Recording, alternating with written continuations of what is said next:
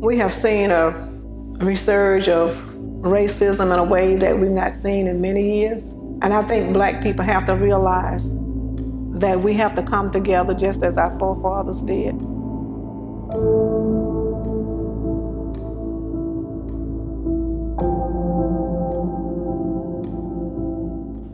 You say Hobson City, Alabama. The first thing that comes to mind for me is black independence and pride.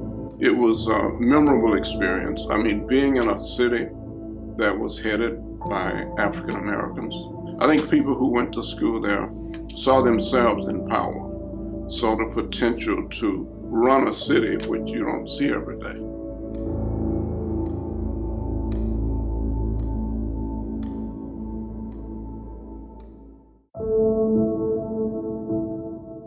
Having the urge of wanting to go into a building that they've never been into it, forbidden to go into, but still passing by it every day. I want to see.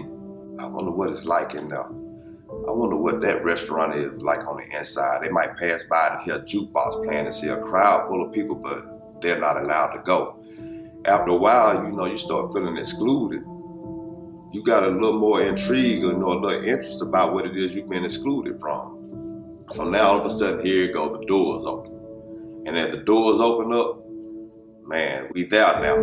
We got the same rights they got. We could go to the same stores they go to. So okay, here we go. We're gonna bypass the stores right here in our city because the stores in Austin is more like a field trip.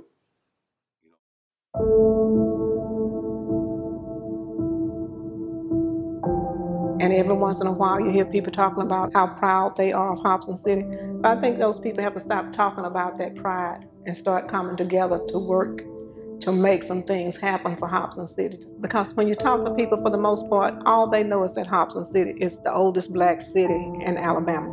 But yeah, what about being the oldest black city in Alabama? What does that mean to you? And what does that mean now?